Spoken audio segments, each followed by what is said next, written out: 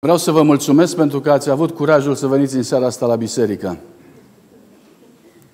După cum știți, subiectul este despre sabat, despre sâmbătă. Este un lucru foarte ciudat. Oamenii gândesc cam așa.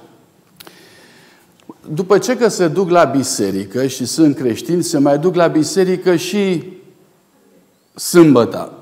Și ce eu fi apucat că toată lumea se duc la biserică duminica, iar ei sâmbătă.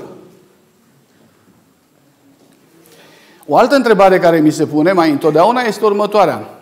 Și voi vreți să spuneți că dacă noi nu ținem sâmbăta, noi nu o să fim mântuiți? Și dacă zici da, îl jignești pe om. Dacă zici nu, parcă contrazici Scriptura. Așa că de o vreme încoace n-am mai zis nici da, nici nu. Ca să fie așa. La capitolul ăsta vreau să vă încurajez și să vă spun că Dumnezeu își are planurile Lui și eu nu cred că doar sâmbătarii, cei ce țin sâmbătă în momentul acesta, sunt candidați la cer. Eu cred că sunt o mulțime de oameni pe care Dumnezeu îi are și care au nevoie să înțeleagă voia lui Dumnezeu. De asta suntem aici, în seara asta. 3. Suntem într-o vreme în care lucrurile sunt foarte ciudate. Am crezut mult timp că dacă un om știe adevărul, dacă un om știe adevărul, după aceea el crede că adevărul ăsta trebuie să fie trăit. Vreau să vă spun ce mi s-a întâmplat.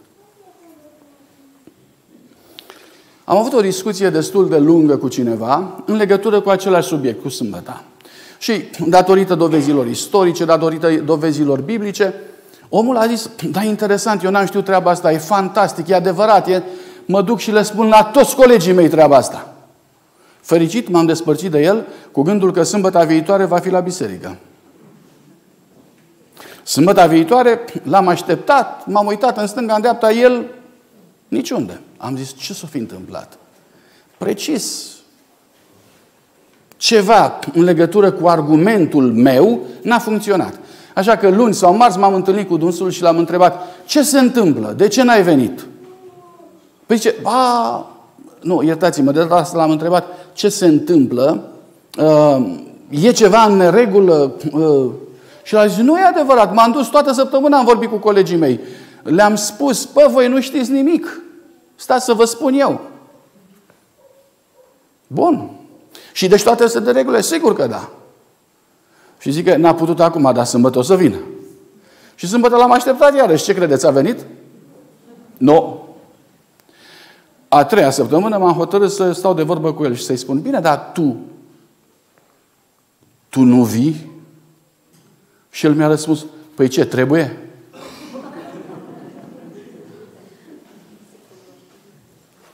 Adică, ă, cum să spun, omul este foarte, foarte doritor să știe adevărul ca faptul divers. Știți cum era mai de mult faptul divers din Scânteia? Rubrica aia de câteva rânduri așa, de ciudățenii. Eu cumpăram ziarul numai pentru rubrica aia. Și știam o sumedenie de lucruri, mă întrețineam cu colegii mei, cu ceilalți și le spuneam, aia ai auzit-o, cealaltă ai auzit-o, cealaltă ai auzit-o. Oamenii sunt plini de așa ceva, vor să știe. Apostolul Pavel în Faptele Apostolilor, capitolul 17, s-a întâlnit cu filozofii epicurieni și se spune despre ei că toată ziua nu făceau altceva decât căutau ceva, să audă ceva nou, să fie mai deștept, să le crească puțin adrenalina din punct de vedere al teoriei. Apropo, teoria este, în definiția ei inițială, este un soi de beție a minții. Oamenii doresc să-și îmbete cugetul cu cât mai multe vești noi. Însă adevărul nu este doar ceva ce trebuie știut. Adevărul trebuie să fie ceva practicat. La toate aceste întrebări aș dori să răspundem în seara aceasta. Timpul ne va fi un dușman crunt. Dar mă rog lui Dumnezeu ca să ne ajute să terminăm fără să obosim. Pentru asta, încă o dată vă spun un bun venit. Vă rog din tot sufletul să credeți în onestitatea cuvântului lui Dumnezeu și de asemenea și în onestitatea celui ce vă prezintă. Vreau să vă spun că n-am niciun interes practic. Nu voi insista de niciunul dintre dumneavoastră să faceți cum zice Scriptura. Suntem total liberi, suntem agenți liberi. Noi alegem. Simțiți-vă, vă rog, din tot sufletul, eliberați. Eliberați de orice presiune din orice parte. Lăsați doar conștiința dumneavoastră să lucreze și acționați în funcție de conștiința dumneavoastră. Este baza binecuvântării lui Dumnezeu pentru noi. Sabatul devine o problemă în legătură cu noi ca și creștini astăzi, în momentul în care noi rupem Biblia în două. În momentul în care Scriptura este ruptă în două, atunci sabatul își pierde rostul. De pildă atunci când cineva zice Vechiul Testament și Noul Testament, atunci când cineva zice Vechiul Testament nu mai este de actualitate, numai Noul Testament este de actualitate, în momentul acela, unitatea Scripturii fiind ruptă, ea vorbește doar pe jumătate. Și când vorbește doar pe jumătate, apar probleme. Din cauza asta, primul punct pe care trebuie neapărat să-l rezolvăm este să ne întoarcem înapoi la primele noastre întâlniri și să ne aducem aminte de câte ceva. Haideți să ne reamintim. Punctul 1. Cine a fost primul proroc? Moise. A fost el recunoscut ca profet de către poporul Israel? Am zis că au fost de câteva ori când poporul evreu a luat pietre ca să îl linșeze. Poporul Israel l-a acuzat pe Moise că e un fel de tâlhar. El n-a recunoscut spiritul profetic al lui Moise sau spiritul prorociei în Moise. Nu. El a zis, până când vrei să iei ochii oamenilor? Citatul aparține fiilor lui Core. Cei care au organizat o revoltă destul de serioasă împotriva conducătorului lui Israel. Când au ajuns ei să-l înțeleagă pe Moise? Poftiți? Simplu. Când a murit. E logic să fie așa. După ce toată viața lui a fost văzută, a fost comparată, a fost analizată, oamenii i-au recunoscut calitățile. Cât timp au trăit. Întotdeauna în spatele unei intenții au așezat o agendă și au spus, e, pare că vrea asta, dar cine știe ce gândește el de fapt? Din cauza asta trebuie să încheie viața pentru ca să vadă că Moise n-a căutat nici la averile lor, n-a vrut nici să-i păcălească, nici nu s-a erijat în ceea ce nu era.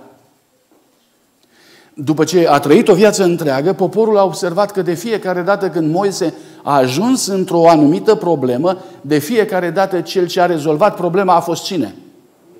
Dumnezeu. Dumnezeu a intervenit în favoarea lui. Revolta lui Core, Datam și Abiram s-a terminat în momentul în care pământul s-a despicat. Și lucrul ăsta l-a făcut Dumnezeu. Din cauza asta, cartea Deuteronomului se încheie cu cuvântul Nimeni n-a fost ca Moise. Și de acolo rămâne acel principiu și anume un proroc trebuie să fie cunoscut după Ziceți, ziceți tare după faptele lui, după viața lui. Un proroc trebuie recunoscut după viața lui, nu după cuvintele, după vorbele, după ceea ce scrie. Pentru că un om ușor poate vorbi frumos. Greu poate trăi onest. E nevoie de Dumnezeu, e nevoie de naștere din nou, e nevoie de duhovnicesc pentru ca omul respectiv să trăiască altfel ca toți ceilalți. Bun. Și după ce au văzut că Moise și-a încheiat viața, după aceea imediat i-au zis, cărțile lui trebuie să fie cărți autentice. Dacă omul ăsta a fost autentic în viața lui și ceea ce a scris trebuie să fie autentic.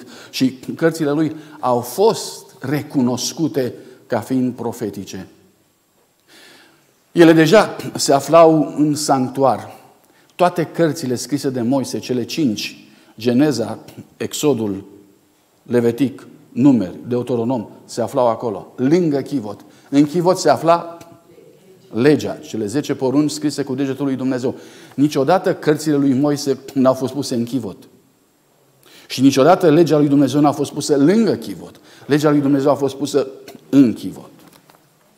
Când cărțile lui Moise au fost recunoscute ca atare, după aceea cărțile lui Moise au devenit canonice, cu alte cuvinte, au devenit unitate de măsură. Cu ele s-a măsurat după aceea, spuneți-mi dumneavoastră ce?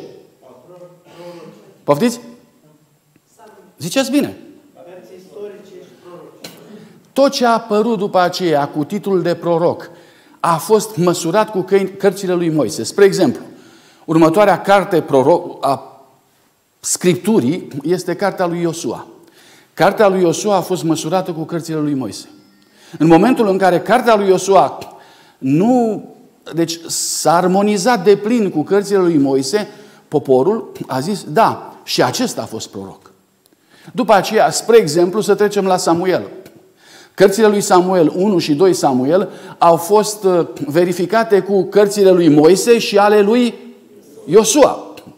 Când s-a observat armonia dintre ele, s-a adăugat la celelalte și cărțile lui Samuel. Apoi cărțile lui Moise, Iosua, Samuel au verificat din nou, spre exemplu, cartea lui Isaia, profetul lui Isaia.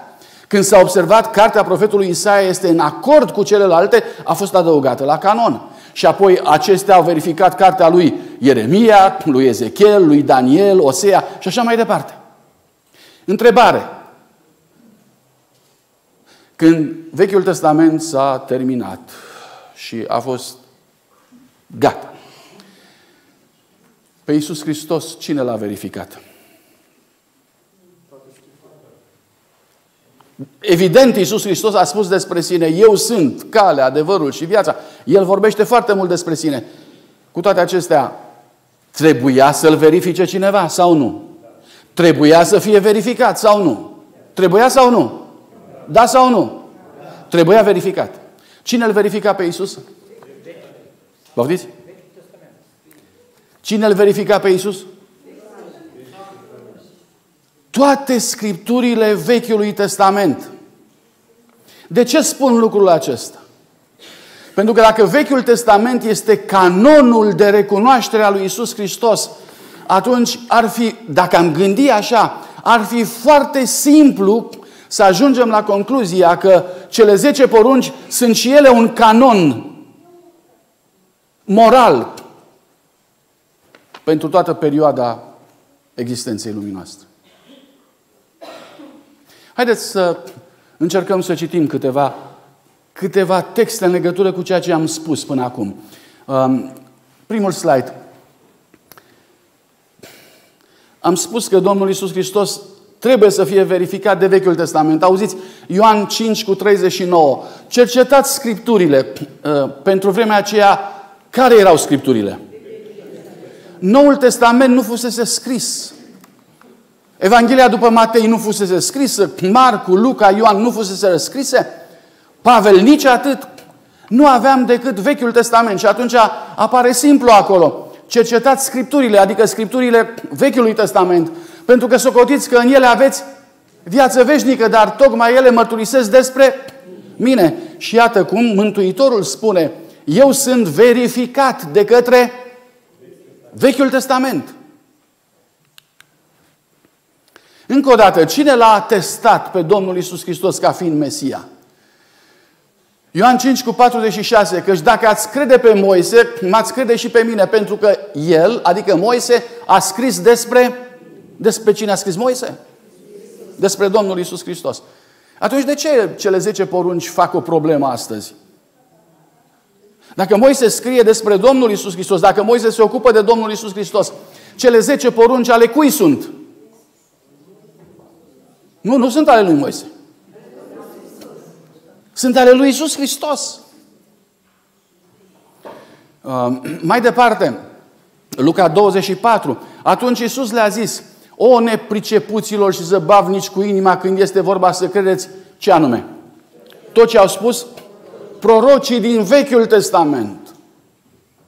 Și au început de la Moise, de la toți prorocii și le-a tâlcuit în toate scripturile. Care scripturi? Încă o dată? Vechiului Testament. În toate scripturile Vechiului Testament ce era în legătură cu cine? Cu Isus Hristos. Noi citim Vechiul Testament ca și cum nu s-ar ocupa de Domnul Isus Hristos, ceea ce este o imensă greșeală. Așa citeau evreii scripturile Vechiului Testament. Și Apostolul Pavel le spune, evreii citesc scripturile parcă ar avea o mahramă pe ochi. Ce înseamnă o mahramă? Un văl pe ochi. Adică nu văd clar și din cauza vălului acestuia nu înțeleg ce reprezintă Vechiul Testament. Și tot Apostolul Pavel spune, dar vălul acesta este dat la o parte în Isus Hristos. Și Apostolul Pavel spune, Vechiul Testament ar trebui să fie citit căutându-L pe Iisus Hristos. Vă rog frumos, în Vechiul Testament nu căutați istorie, nu căutați geografie, nu căutați războaie, nu căutați numerologie. Nu despre asta este Vechiul Testament. Vechiul Testament este despre Domnul Iisus Hristos. Vă puteți imagina ce ar fi dacă în Vechiul Testament cititorul l-ar pune, l-ar pune pe, pe Domnul Iisus Hristos? În ce s-ar transforma Vechiul Testament? Hm? Spre exemplu, dacă ar înțelege vrăjmășie voi pune între tine și femeie, între sămânța ta și sămânța ei. Și dacă ar înțelege că sămânța femeii este Isus Hristos, vă dați seama ce s-ar întâmpla? Adică se vorbește din Geneza de la primele capitole despre Isus Hristos. Vă dați seama ce lumină se aruncă în tot spațiul acesta al Scripturii. Vă dați seama că atunci când Avram îl ia și îl ucide, nu, îl jerfește pe Isaac, scena respectivă nu este scenă istorică lipsită din context sau scoasă din context, ci este o scenă istorică ce trebuia să fie tipologia cui? Tipul lui Isus Hristos. Apropo, muntele Moria nu era departe de Golgota. Cam acolo unde a, unde a fost sacrificat Domnul Isus Hristos, cam acolo a fost și sacrificiul lui Isaac. Dacă ar fi Vechiul Testament așa, repet, în ce s-ar transforma Vechiul Testament? Într-un fel de Nou Testament. Pentru că singurul lucru care lipsește din Vechiul Testament este Isus Hristos. În rest, toate sunt acolo. Intenția lui Dumnezeu, mântuirea lui Dumnezeu, prorocia lui Dumnezeu, simbolurile Domnului Isus Hristos pentru jerfirea sa și pentru mântuirea sa. Toate sunt acolo. Toate conduc spre așa ceva. Astfel că Scriptura este o singură carte, nu sunt două cărți.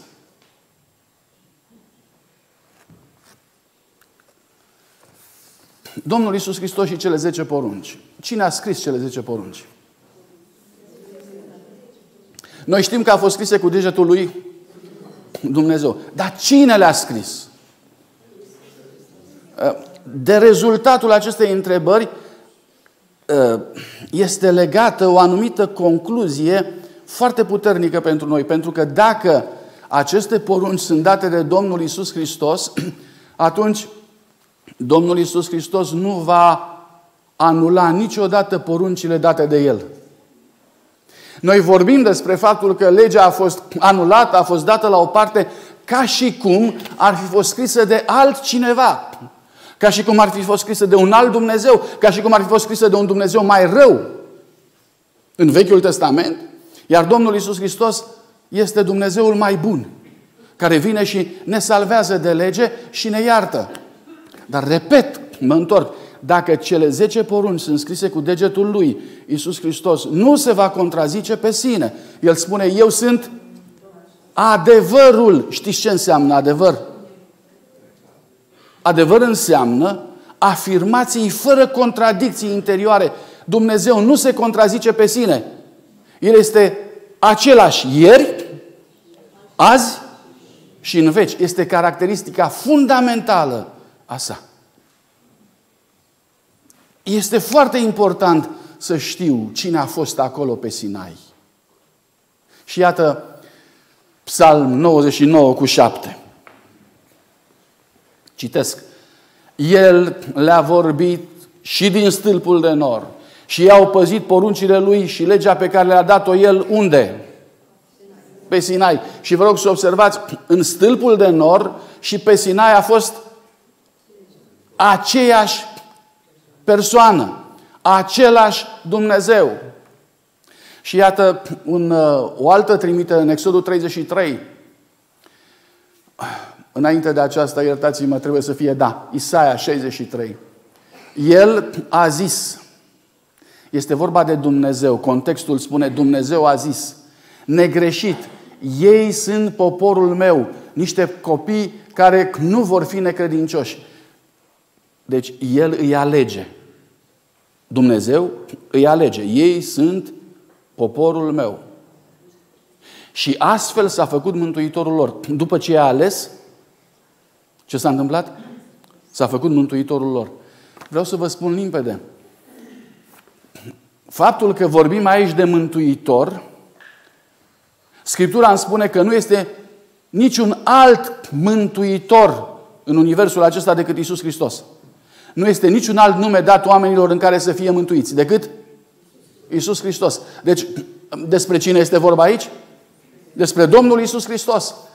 Și mai departe, în versetul următor, și îngerul care este înaintea feței lui i-a mântuit. Din nou, îngerul care mergea în stâlpul de foc și în stâlpul de nor era mântuitorul lor. Adică cine?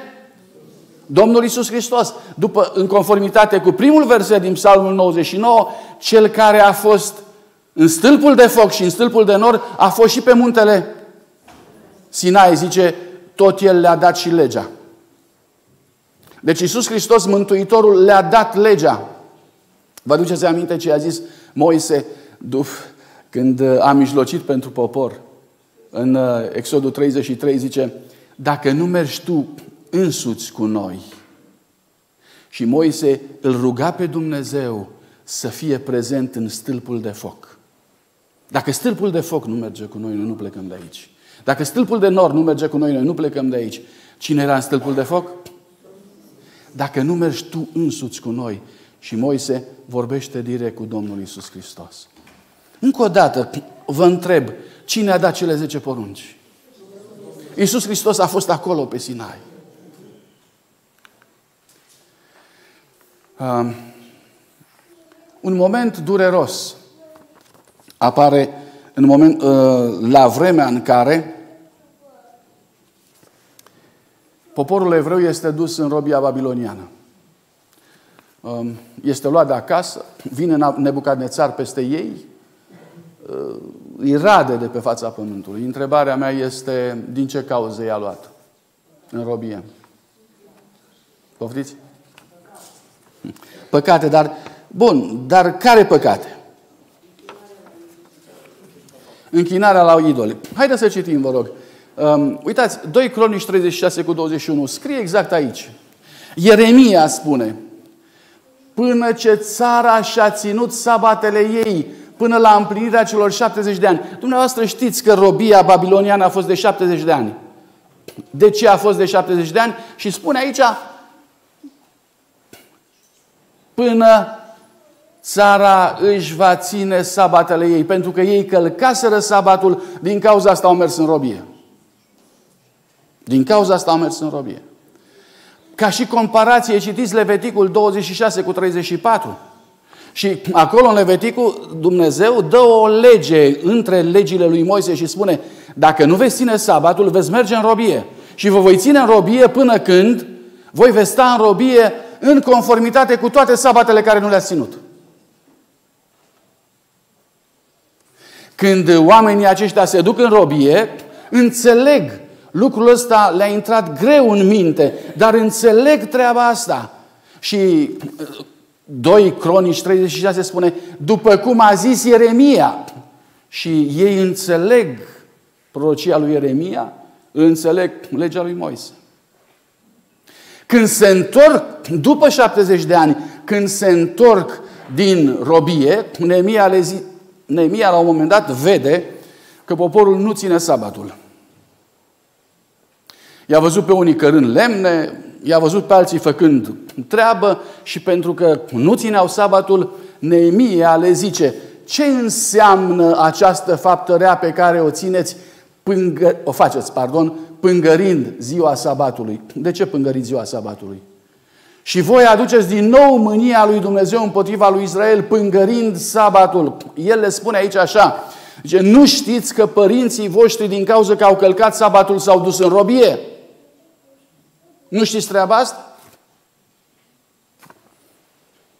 Acum, dragii mei, uh, au fost luați în robie în jurul anilor 600. 605, în sfârșit. S-au întors din robie în anul 538. Acum, Neemia, suntem în anul 538. Puțin mai târziu, în anii 160, are loc uh, revolta Macabeilor. De ce spun lucrurile astea? Spun lucrurile astea pentru că vă rog să urmăriți împreună cu mine un lucru. Și anume, când va veni Iisus Hristos și va trăi pe pământ aici, la Betleem, problema sabatului și ținerea sabatului va fi extrem de importantă pentru popor. Cu 160 de ani înainte de venirea Domnului Isus Hristos, Antioch Epifanul, un conducător de origine elenistă, greacă, încearcă să schimbe cultul de la templu, tot ceea ce se întâmpla acolo, printre altele. Interzice ținerea sabatului. Desacralizează templul, aducând jerfe de animale necurate și poruncește ca în curtea templului să fie așezată una dintre statuile împăratului. Macabeii sunt o familie de iudei, preoți, care se revoltă împotriva acestei situații și timp de șase ani de zile, 1000, pardon, 166 și 160, conduc războaie religioase împotriva, împotriva aproape a unui imperiu întreg, adică o parte din imperiul lui, uh, lui uh, Alexandru cel Mare, care era condus de acest Epifanis. Um, a fost greu. La un moment dat, în Macabei, în cartea Macabeilor, a doua cartea Macabeilor, ultimul capitol, în lupta împotriva lor, se adoptă următoarea tactică. Haideți să-i lovim pe evrei în sabat, sâmbătă, pentru că evreii nu luptă sâmbătă. Și a fost momentul crucial al lor în care foarte mulți dintre ei mai bine au murit decât să lupte. Și au fost măcelăriți. Se cunoaște istoria unei formații militare care s-a ascuns într-o peșteră. Și au fost descoperiți acolo și masacrați până la ultimul, fără ca să pună mâna pe sabie. Nu fac din niciuna din aceste situații un model. Vreau să înțelegem un lucru. Când a venit Domnul Isus Hristos, peste 160 de ani, aceste memorii, aceste întâmplări erau foarte aproape, foarte vii în mintea lor. Din cauza asta, nu se punea problema ca vreunul dintre ei să calce sabatul. În Ioan capitolul 5 se spune că ei au vrut să-L omoare pe Domnul Isus Hristos datorită faptului că dezlega sabatul. Dar știți că atunci când l-au omorât, nu l-au putut acuza că a călcat sabatul? E foarte important. Știți că atunci când l-au condamnat la moarte, la cruce, n-au putut să-l acuze că a călcat sabatul. Dacă ar fi putut să-l acuze că el a călcat sabatul, l-ar fi acuzat și l-ar fi ucis din cauza asta, l-ar fi executat din cauza asta. Dar n-au putut să demonstreze că a călcat sabatul. Și din cauza asta l-a somat marele preot și a zis, spune-mi, ești Fiul lui Dumnezeu? Și când Domnul Iisus Hristos a zis, da, sunt Fiul lui Dumnezeu și mă veți vedea venind pe norii cerului, în momentul acela, marele preot a zis, hulă, ce nevoie mai avem de martori? Și l-au condamnat la moarte pe baza faptului că este Fiul al lui Dumnezeu, nu pe baza faptului că a călcat sabatul. Foarte interesant acest lucru. Este una din dovezile indirecte ale faptului că Domnul Isus Hristos a păstrat sabatul. Haideți să mergem mai departe în legătură cu Domnul Isus Hristos, să-L vedem mai departe, pentru că dacă am demonstrat sau am înțelege că Domnul Isus Hristos a ținut sabatul, atunci nu mai e nevoie de nimic, iertați-mă. Pentru că noi suntem creștini. Noi urmărim exemplul Domnului Isus Hristos. Cu alte cuvinte, merge Domnul Isus Hristos pe aici, mă duc și eu pe acolo. Eu calc cu pașii mei în pașii Lui.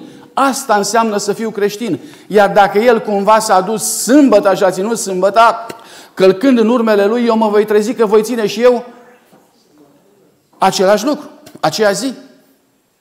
Sunt texte cunoscute de dumneavoastră. Luca 4 cu 16, spre exemplu. A venit în Nazaret, unde fusese crescut și după obiceiul său. Ce înseamnă obicei? Dați-mi o definiție. Ceva ce se întâmplă în mod regulat în viața ta. Nu e uh, din greșeală, nu e excepție, e regulă, e obicei. După obiceiul său, în ziua sabatului a intrat în sinagogă. Uitați-vă puțin mai jos. Pavel, în fapte 17 cu 2, după obiceiul său, a intrat în sinagogă. Trei zile de sabat, după obiceiul său. Și a vorbit cu neamurile din Scripturi. Și Domnul Isus Hristos și Pavel, după înălțarea Domnului Isus Hristos, au același obicei. Țin sabatul. Păstrează sabatul.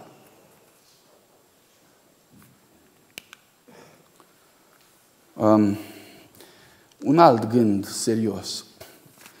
Mi se spune de către prietenii mei din, de jur împrejur că Domnul Iisus Hristos a ținut sabatul pentru că era Poftiți? Era evreu. Păi dacă toți evreii țineau, sabatul a ținut și el, dar în realitate, în realitate ce? Viața lui este model în realitate. Nu există altă realitate. El n-a ținut un lucru ca realitatea să fie alta. De unde știu lucrul ăsta? Fiți atenți, uh, Domnul Iisus Hristos uh, vorbește în Matei, capitolul 12, căci Fiul omului este Domn al sabatului. Uh, mă interesează un lucru. Cine e Fiul omului? Domnul Isus Hristos. De unde a luat Domnul Isus Hristos expresia asta, Fiul omului?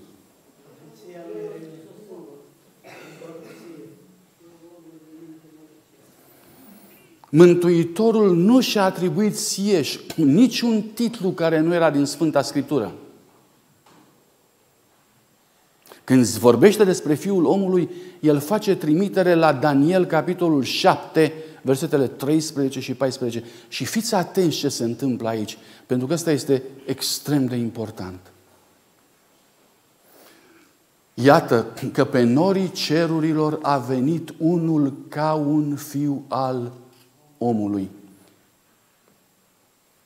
Unde se întâmplă scena aceasta? În cer pe norii cerului. A înaintat spre cel îmbătrânit de zile. Pentru dumneavoastră care știți contextul din Daniel, cel îmbătrânit de zile cine este?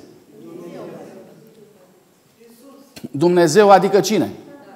Tatăl. Iar cel ce este fiul omului, unul ca un fiu al omului, cine este? Domnul Isus Hristos.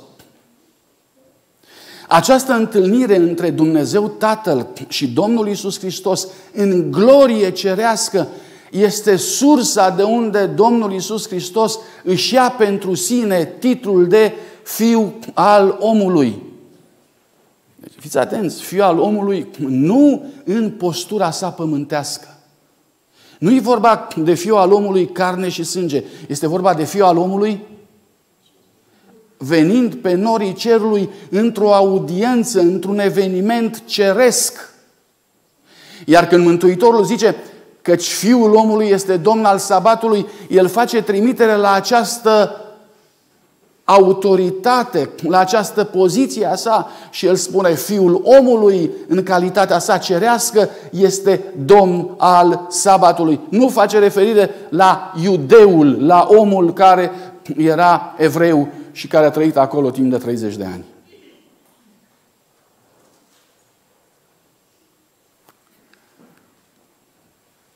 Când uh, citesc mai departe, a fost adus spre cel îmbătrânit de zile, a fost adus înaintea lui și i s-a dat stăpânire, slavă, putere împărătească pentru ca să-i slujească toate popoarele, neamurile și oamenii de toate limbile.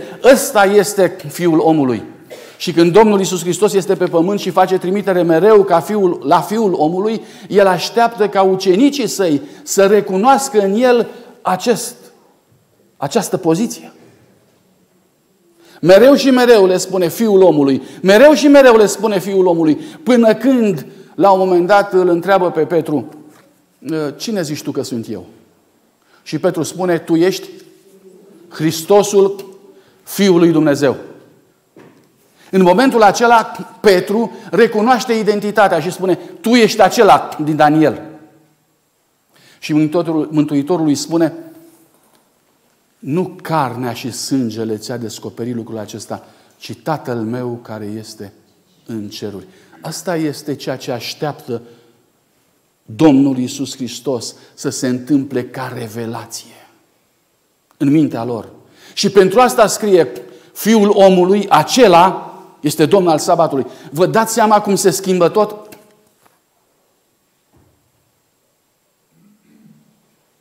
Adică avem de-a face cu, cu o autoritate regală, universală, cerească, ce se leagă de sabat. Nu oamenii, ci El, Domnul. Sabatul după înălțare. Am prieteni foarte mulți care spun așa, noi păzim sabatul, dar în spirit. Da? Adică cum în spirit? Poftiți? Avem odihna în noi, bucuria în noi. Noi nu mai avem nevoie de o zi. Pentru noi toate zilele sunt la fel. Dragii mei, îmi place atât de mult Apocalips 1 cu 10. Ioan, ucenicul iubit, este pe insula Patmos. Este singur acolo. Și scrie, pune mâna pe pană și scrie, în ziua Domnului, Păi stai puțin. Deocamdată asta mă interesează. În ziua Domnului. Păi asta îmi demonstrează că pe vremea lui Ioan, adică spre sfârșitul secolului I, prin anii 90, Ioan, scrie, Ioan scrie Domnul încă își are ziua lui. Nu te întreb dacă e marțea, nu te întreb dacă e joia. Te rog să-mi spui, își are o zi sau nu are? Asta mi arată mie aici, Ioan. Domnul își are o zi. Domnul nu zice, voi să fiți liniștiți și bucurați-vă că mântuirea e în toate zilele. Nu. Ioan spune, în ziua Domnului eu, eu, nu altcineva, eu eram acela care doream să am o legătură specială cu Domnul Isus Hristos. Și din cauza aceasta spune, eram în Duhul. Îmi place enorm această idee. Este ca și cum Ioan este înconjurat de Duhul Sfânt. Este ca și cum Ioan este cufundat în Duhul Sfânt. El este acolo într-o atmosferă a Duhului și zice, asta se întâmpla când? În ziua Domnului. În ziua Domnului era cu Domnul. Rețineți lucrul acesta. În ziua Domnului era cu Domnul. Cum vi se pare în ziua Domnului? Sunt N, N comentarii în legătură cu aceasta. Eu vă rog un singur lucru să observați. Puteți face o legătură între acest text în ziua Domnului eram în Duhul și textul care spune Domn al sabatului, Fiul omului ceresc, era Domn al sabatului. Aici, în ziua Domnului, puteți face legătura asta?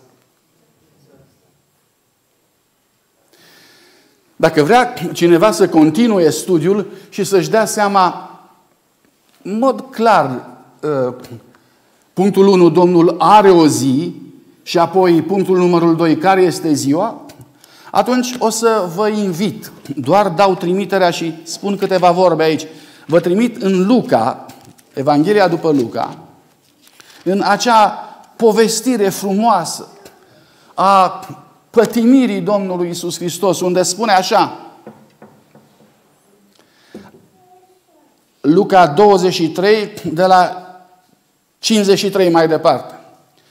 L-au dat jos pe Domnul Isus Hristos. L-au înfășurat într-o pânză de in. L-au pus într-un mormânt nou săpat în piatră, în care nu mai fusese pus nimeni. Versetul 54. Era ziua pregătirii și începea ziua sabatului. Ce zi era? Vineri. Era ziua pregătirii pentru evrei, vineri, este până și în ziua de astăzi ziua pregătirii. Câți dintre dumneavoastră ați lucrat în Israel? Vă rog frumos, ridicați mâna. Care e ziua pregătirii? Vineri, mulțumesc. Și în ziua de astăzi? Da. Și în ziua de astăzi, mulțumesc. Era ziua pregătirii și începea ziua sabatului. Care, care era ziua Domnului? Femeile care veniseră cu Isus din Galileea au însoțit pe Iosif, au văzut mormântul lui și felul cum a fost pus trupul lui Isus în el. S-au întors, au pregătit mirezme și miruri. Apoi, în ziua sabatului, s-au odihnit după lege. După ce lege? După legea Domnului Isus Hristos. Isus Hristos, El însuși se odihnea în mormânt în momentul acesta. Apoi, versetul 24, în ziua întâia săptămânii, femeile acelea și altele împreună cu ele au venit la mormânt dis de dimineață ca să-L îmbălsămeze pe Domnul Isus Hristos. Să nu apuce să intre trupul în descompunere. În ce zi? Întâia. Au găsit piatra răsturnată de pe mormânt, au intrat înăuntru și n-au găsit trupul Domnului Isus Hristos. Ce se întâmplase? În ce zi? Spuneți-mi mie în ce zi sărbătoriți dumneavoastră Paștele. Duminica. Duminica e ziua întâi. Vinerea e ziua pregătirii.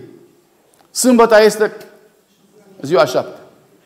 E simplu pentru toți aceia care au probleme cu, cu, cu identificarea. E simplu. Citiți doar Luca, atât. Dar vreau să vă spun un lucru. N-aș vrea să rămână un fel de fapt divers. Au dreptate. Aș vrea să vedem ce câștigăm și ce pierdem, atâta tot. Din cauza asta, îmi pare rău că nu am avut timp să vă distribui Scripturi. Aș fi vrut să citiți dumneavoastră, dar fiind timpul înaintat, dați-mi voie să citesc eu. Geneza, capitolul 2. Aici e foarte important. Vă citesc din paradis. Vă citesc din Eden. Păcat nu există.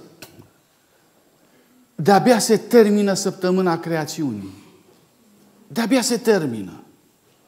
Astfel au fost sfârșite cerurile și pământul și toată oștirea lor. Capitolul 2 cu 1. În ziua șaptea, Dumnezeu și-a sfârșit lucrarea pe care o făcuse și în ziua șaptea s-a odihnit de toată lucrarea Lui. Dumnezeu a binecuvântat ziua șaptea și a sfințit-o. Iertați-mă, nu mă interesează. Mă întreabă cineva, a poruncit Dumnezeu atunci ziua șaptea să fie ținută? A poruncit? Nu. N-a poruncit. Și el zice, dacă n-a poruncit-o, eu nu o țin. Dacă n-a poruncit-o, eu nu o țin. E treaba ta dacă te poți lipsi de binecuvântare și sfințire. Dacă te poți lipsi de binecuvântarea și de sfințirea lui Dumnezeu, este treaba ta. Dar era paradis atunci. Atunci nu trebuia să poruncească Dumnezeu. Atunci Dumnezeu trebuia să le arate. Că de aia zice că e odihna lui Dumnezeu. Și de asta zice în Evrei, capitolul 4, nu vreți să intrați și voi în odihna lui? Atunci, în Eden, nu trebuia invitat omul să intre în odihna lui Dumnezeu. Atunci, în Eden, omul dorea să intre în odihna lui Dumnezeu. Abia apuca să fie acolo. Omul sărbătorea împreună cu Isus Hristos.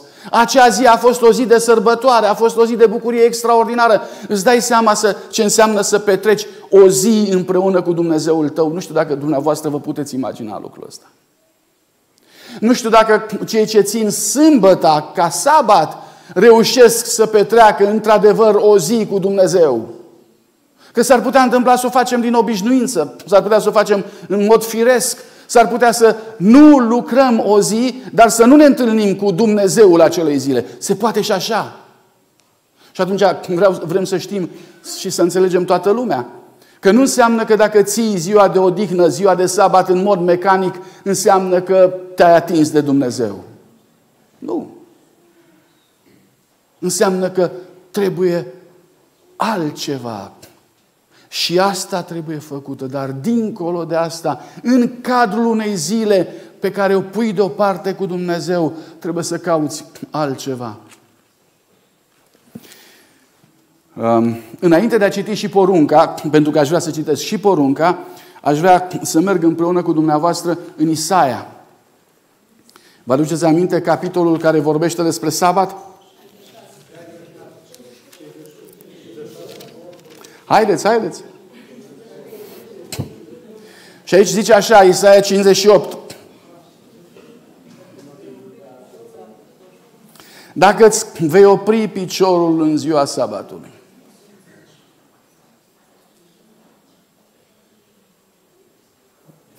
Dacă sabatul va fi desfătarea ta ca să sfințești pe Domnul, slăvindu-L, dacă îl vei cinsti, neurmând căile tale, treburile tale, flecării, atunci te vei putea desfăta în Domnul. Aș vrea să vă spun limpede, să știți că firea pământească nu se desfătează în Domnul, cu Domnul. Firea pământească, atunci când se apropie Domnul prea mult, zice așa, cum pot să stau eu lângă, lângă niște flăcări veșnice? Este exact ceea ce spune profetul Ieremia. Cum poate un om ca mine să stea lângă niște flăcări veșnice? Și atunci omul firesc fuge, se depărtează, are reflexul lui Cain, ar dori să fugă de la fața Domnului, să iasă de acolo. Ori aici Dumnezeu îmi spune că mi-a dat acest exercițiu pentru ca eu să reușesc să fac din întâlnirea cu Dumnezeu, ziceți, desfătare. Să vă întreb ce înseamnă desfătare? Să vă întreb când v-ați desfătat dumneavoastră ultima dată? Nu știu, la masă vă desfătați? Când vă desfătați dumneavoastră?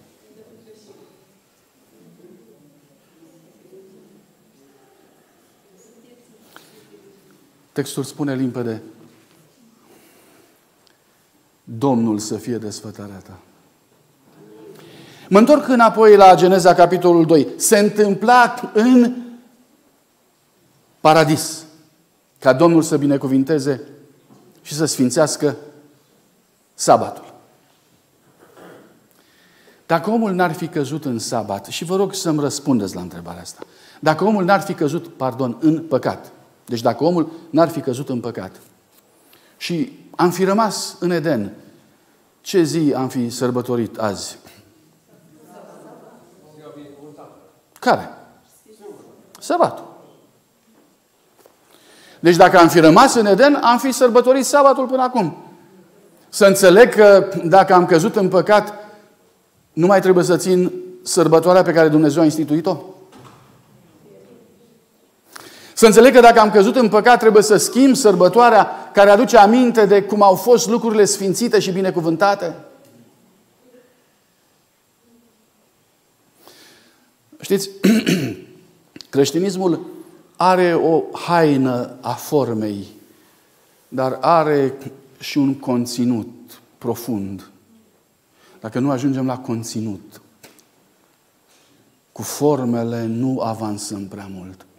Iar conținutul este binecuvântarea și sfințirea. Haideți, după o vreme,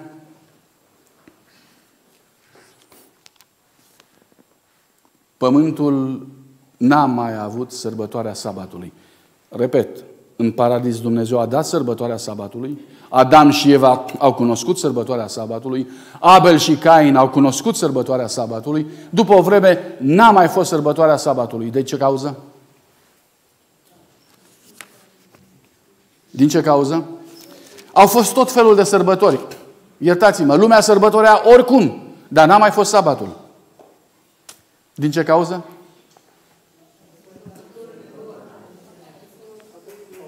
Citesc. Auziți? Citesc. Am răspunsul. Aduți aminte de ziua de odihnă. Din ce cauză? Uitaseră. Uitaseră, neglijaseră, anulaseră. Să știți un lucru, omul a făcut ce a făcut, că s-a uitat sabatul, nu Dumnezeu. Dumnezeu n-a făcut nimic ca să se uite sabatul. Dumnezeu n-a făcut nimic să se schimbe sabatul. Găsiți-mi în Sfânta Scriptură vreun indiciu al faptului că între timp Dumnezeu a luat vreo uh, decizie în legătură cu sabatul. Arat, arătați-mi undeva. Veți descoperi că nu este absolut nicio inițiativă din partea lui Dumnezeu. Orice inițiativă de a schimba sabatul aparține cui? Omului. Omul a schimbat sabatul. Orică a uitat, orică n-a vrut, orică a neglijat.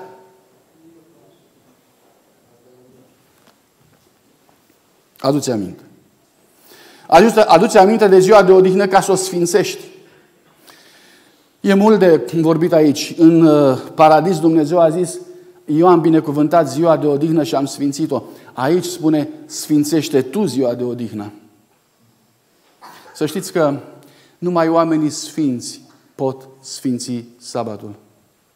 Numai oamenii binecuvântați pot binecuvânta sabatul.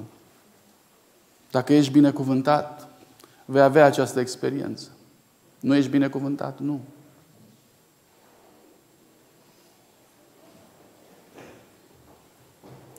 Ziua șaptea este ziua de odihnă. Ce fel de odihnă? Vă rog să băgați de seamă, nu e odihna mea.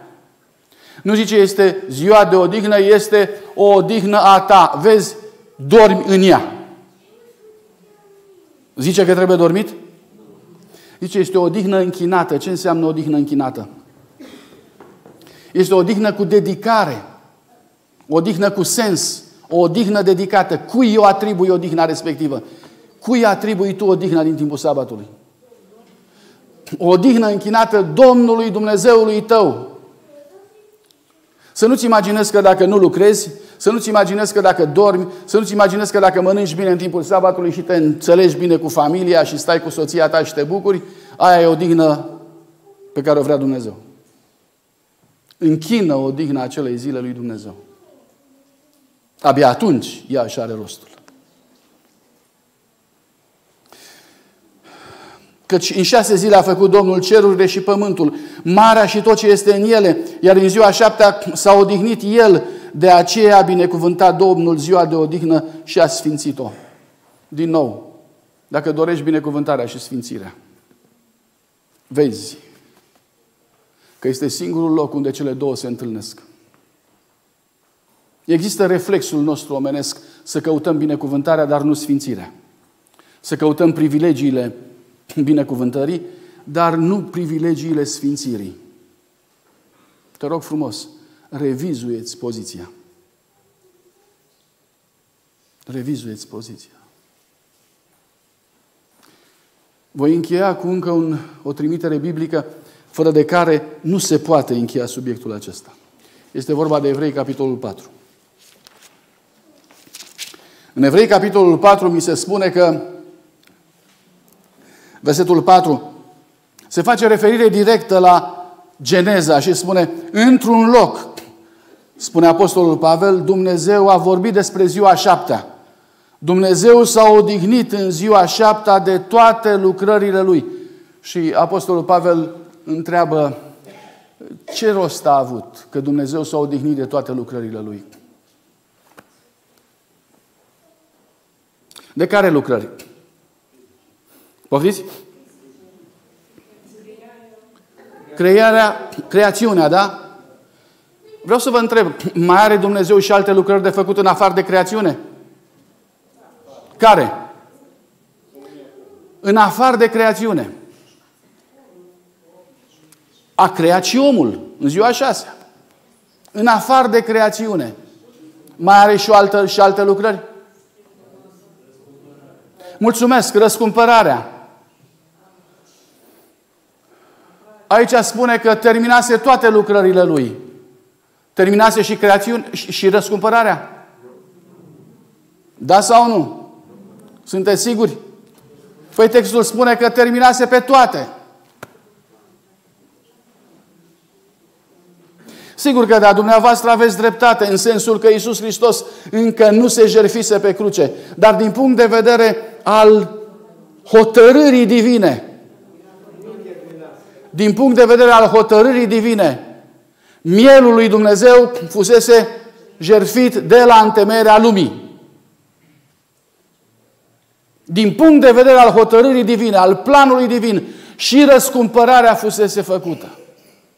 Vă dați seama cum, vă dați seama cum a făcut Dumnezeu pământul ăsta? A făcut pietrele. Și a știut că pietrele astea o să-i taie călcâiele lui. N-a făcut spini și pălămidă. Dar mai târziu a făcut Satan spini și pălămidă. Și spuneți-mi, pentru ce a făcut spini și pălămida? Pentru că din spinii acestui pământ a fost făcut coroana lui. A creat Dumnezeu pomi puternici. Și a știut că din lemnul acela va fi făcut o cruce pentru el. Totul a fost gata la creațiune. Totul a fost gata în ziua șaptea. Din cauza aceasta, ziua șaptea este simbolul creațiunii, dar este și simbolul, poftiți? Al răscumpărării. Da, este și simbolul răscumpărării. Unde scrie treaba asta? Treaba asta scrie în Evrei, capitolul 4, cu versetul 9. Rămâne dar o odihnă de sabat pentru poporul lui Dumnezeu. Și când se referă la odihna de sabat, se referă la odihna mântuirii la răscumpărare și spune sabatul cuprinde în ea atât aducerea aminte a creațiunii cât și aducerea aminte a răscumpărării. Și dacă în sabat sunt cele două simboluri mănunchiate împreună, spuneți-mi, vă rog, ce rost are să schimbăm ziua aceasta? De ce să o schimbăm? Unii spun că după înviere ar trebui să fie schimbată. Păi dacă ziua aceasta are în ea și simbolul răscumpărării, repet pentru a, sau întreb pentru a treia oară, de ce trebuie schimbată? Dacă ziua aceasta are în ea și simbolul răscumpărării, atunci ea este de actualitate și în Vechiul Testament și în Noul Testament. Ea este tot una și e Isaia, capitolul ultim, vorbește despre faptul că, de fapt, această zi este un pod între eternitatea trecută și eternitatea viitoare. Și vom sărbători această zi pe noul pământ. Dragii mei, nu este fapt divers. Înțelegerea profundă a zilei sabatului ne afectează toată închinarea noastră. Sabatul ne învață cui și cum ne închinăm. Aș vrea să mă opresc aici. Subiectul acesta al sabatului de-abia începe. Toți aceia dintre dumneavoastră care doresc să studieze mai profund și după momentul acesta, adresați-vă, vă rog, pastorului acestei biserici. Vă stau la dispoziție scripturi. Vă stau la dispoziție documente de istorie. Vă stă la dispoziție experiența creștinismului în general pentru a argumenta faptul că sabatul este chemarea lui Dumnezeu la adevărata închinare. Repet, chemarea lui Dumnezeu la adevărata închinare. A ne reîntoarce înapoi la Sfânta Scriptură înseamnă a oferi lui Dumnezeu posibilitatea de a reîntoarce ființa noastră la o ascultare de plină de El. În această carte, care este Scriptura, există tot argumentul de care avem nevoie pentru a fi credincioși lui Dumnezeu. Orice chemare de care avem nevoie pentru ca să venim la El. Și orice binecuvântare de care avem nevoie ca să nu ne clătinăm. Pentru oricine iubește sfințirea. Pentru oricine iubește pecetluirea despre care am vorbit aseară. Luați în considerație aceasta datorită faptului că încă n-am vorbit despre asta, dar Scriptura amintește despre faptul că sabatul există sau este un semn între Dumnezeu și poporul său. Dacă vrei să primești pecetea lui Dumnezeu, gândește-te la semnul pe care Dumnezeu îl are pentru tine. Este vorba de consemnul de recunoaștere al poporului care este gata să-L urmeze. E târziu. Încă o dată vreau să vă atrag atenția. Abia am deschis ușa la subiectul acesta. Dacă aveți întrebări, vă rog frumos să le scrieți. Vă rog frumos să le trimiteți. Mâine seară vom folosi timpul de început pentru a completa cu detalii nelămuririle sau întrebările pe care le aveți și la care n-am răspuns în seara aceasta. Dar aș vrea din tot sufletul să-L iubiți pe Iisus Hristos și prin El să iubiți odihna pe care El vi oferă atunci când vă promite că vă veți întâlni cu El în actul închinării sabatice. Iubiți-L în felul ăsta. Dacă doriți sfințirea, dacă doriți binecuvântarea, vă voi invita în clipele care urmează să ne rugăm împreună. Nu pentru a recunoaște un obicei, nu pentru a recunoaște o formă. Pentru că să știți că zilele nu diferă. Joia nu este diferită de ziua de sâmbătă și nici sâmbăta nu este diferită de ziua de duminică. Islamul ține vinerea. Marea majoritate a creștinilor țin duminica. Cuvântul lui Dumnezeu vorbește despre sabat. Dar nu în timpul fizic există binecuvântarea, ci în întâlnirea cu Isus Hristos în întâlnirea cu El. Um, El vă asigură un lucru. Că sabatul reprezintă perimetrul unde El își dă întâlnire cu tine. Și dacă vrei să fii fericit pentru că l-ai întâlnit, dacă vrei să fii fericit pentru că poți să mergi împreună cu El, te invit. Recunoaște perimetru. Recunoaște locul. E șansa noastră de a deveni creștini. Cu adevărat. Era obiceiul lui să meargă în sabat. Vreau să te întreb, tu ce obicei ai? Era obiceiul lui Pavel, tu ce obicei ai? Ioan, ucenicul iubit, în ziua Domnului era în Duhul. Tu unde ești în ziua Domnului? Vedeți, toate aceste lucruri conduc spre nevoia mea și nevoia ta de reglare a orice este dereglat. De îndreptare a orice este strâmb. Dacă îl iubești. Haideți să ne rugăm.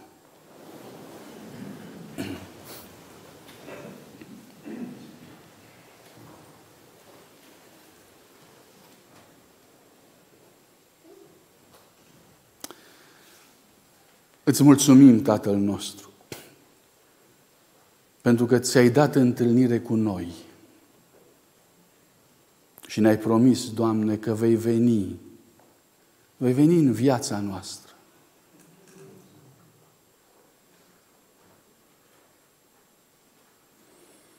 Că ne vei binecuvânta ființa, lucrarea și viața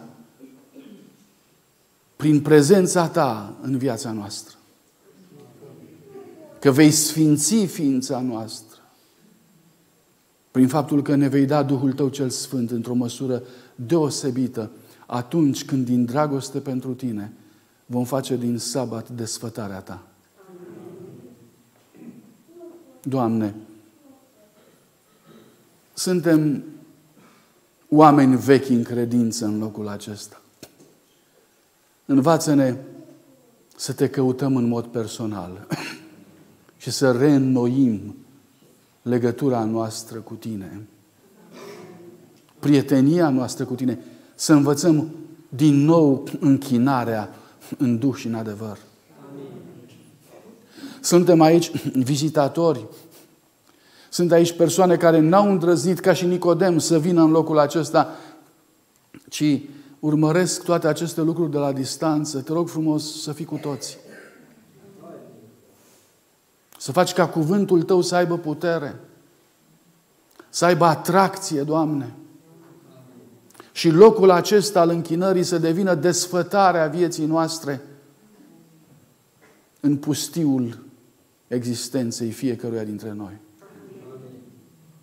Iartă-ne, Părinte, pentru clipele în care am stat departe de Tine.